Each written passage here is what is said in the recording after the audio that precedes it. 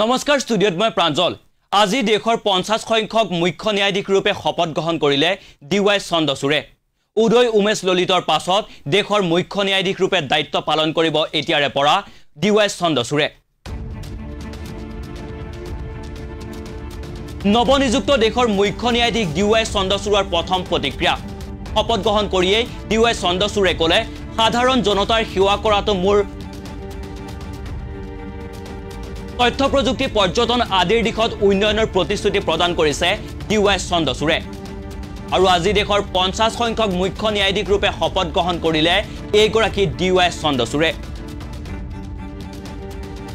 আৰু নৱনিযুক্ত মুখ্য ন্যায়াধীশ ডি ৱাই চন্দ্ৰচূড়ে শপত গ্ৰহণ কৰিয়েই প্ৰতিক্ৰিয়া ব্যক্ত কৰিছে যে সাধাৰণ জনতাৰ সেৱা কৰাটো মোৰ প্ৰথম প্ৰাধান্যতা।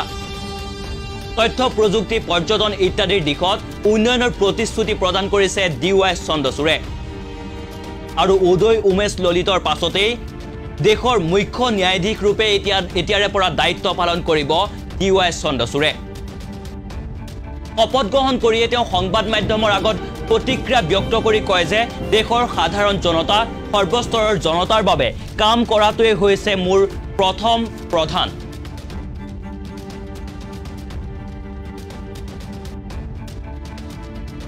আৰু শপত গ্ৰহণ কৰিয়ে তেওঁ ক'লে যে তথ্য প্ৰযুক্তি পৰ্যটন ইত্যাদিৰ দিশত দেশক উন্নয়ন কৰাব পাৰিলেই তেওঁ সফল হ'ব এইদৰে মন্তব্য কৰিলে ডি ৱাই চন্দ্ৰচূড়ে দেশৰ মুখ্য ন্যায়াধীশ হিচাপে শপত গ্ৰহণ কৰিয়েই